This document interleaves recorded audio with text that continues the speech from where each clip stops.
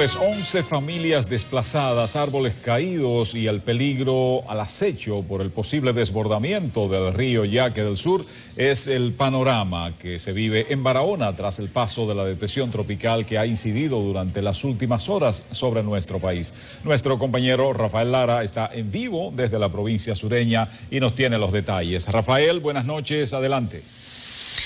Muy buenas noches, así es. Y bueno, en el día de hoy ha caído bastante lluvia aquí en la provincia de Barahona y sobre todo en horas de la tarde los vientos pues eh, se pusieron bastante fuertes en diferentes eh, sectores de la provincia.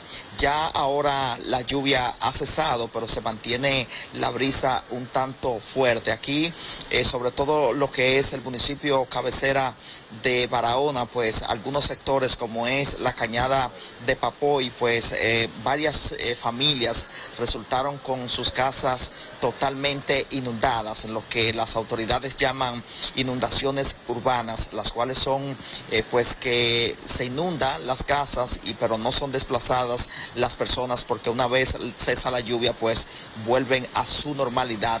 Eh, inicialmente las autoridades en horas de la tarde pues dieron un balance de lo que ha sido este día de lluvia aquí en la provincia Barahona que según ellos han dicho pues inició a las 8 de la mañana del día de hoy pero que a partir del mediodía se, intensificó como se había pronosticado con el paso de la tormenta Grace. En ese sentido, vamos a escuchar eh, las declaraciones del director regional de la Defensa Civil, así como también representantes de la gobernación provincial de esta provincia Barahona. Escuchemos. Eh, como acaba de decir el señor Luis eh, hay 11 familias que hemos tenido que convencer para que los niños fuesen a casa de familiares y amigos hasta el momento es el número que tenemos en todo lo que es la provincia. Hay algunos árboles que han caído eh, producto de la lluvia, que hemos dado rápida respuesta y hemos restablecido el paso en algunas comunidades que tenían el paso obstruido. Están desde una comunidad llamada Habanero, que está a unos 8 eh, o 10 kilómetros de aquí, en la carretera Barahona-Asua, se inicia por ahí desde Habanero, La Olla, Pescadería, Fundación, El Peñón, que están en el borde de lo que es eh, la laguna Rincón de Cabral, que está recibiendo pero gran cantidad de agua.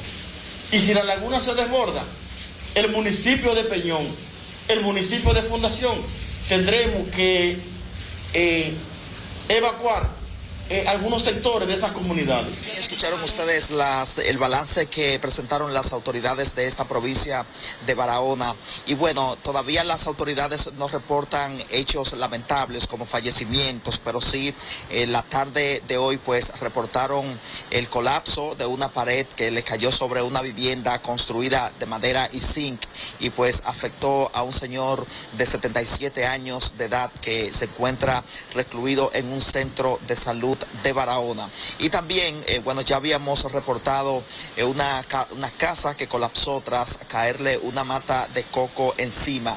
Ahí no se produjeron eh, pues personas heridas.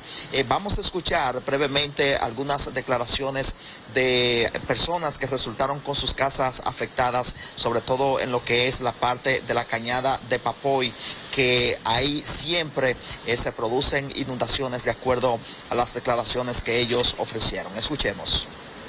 Sacando agua con, con cubo para afuera. ¿Y no le avisaron que iba a haber tormenta y que podría ser inundado? Sí, se, se, oyó, pero imagínate el que no tiene pan de meter debajo. No hay albergue aquí, las autoridades no le indicaron ningún albergue. Se me inundó la casa que tuve que recoger todo para ponerlo ahí junto para que no se me lo lleve el agua. Entonces yo estoy cansada de joyarlo con un pico, hasta me corté en un dedo, que me caía allá atrás, ahí sacando agua, lodo allá adentro. ¿Qué te le piden las autoridades? Bueno, que me den una ayuda para yo tan siquiera arreglar mi casa. Bien, ahí escucharon ustedes y bueno, señores, Eh, la calidad de las imágenes que ustedes han podido observar, sobre todo en cámara, como estamos en este momento, obedece a que en medio de la fuerte lluvia, pues eh, resultaron afectados los equipos de transmisión y esa es la razón por la que eh, presentamos estas imágenes en estas condiciones. Decir sobre todo ya finalmente en lo que han presentado las autoridades, ellos pues piden a la población que mantengan la calma, pero que se mantengan alertos porque durante esta noche podrían ocurrir eh, pues más lluvias que pudieran eh, eh, afectar y producir inundaciones en diferentes sectores. Sobre todo mantienen pues la alerta de lo que es un posible desbordamiento del río Yaque del Sur y que pudiera pues afectar el municipio de Peñón y comunidades aledañas que sobre todo son productoras agrícolas y que siempre cuando ocurren fuertes lluvias pues estas zonas se inundan. Así que las autoridades llaman a mantener la calma y mantener la precaución ante la posible ocurrencia de lluvias durante la noche, aunque en este momento, repetimos, no está lloviendo en este municipio de Barahona. De momento es toda la información que vamos a ofrecer. Yo retorno con ustedes al estudio. Muchas gracias, Lara, por tu reporte.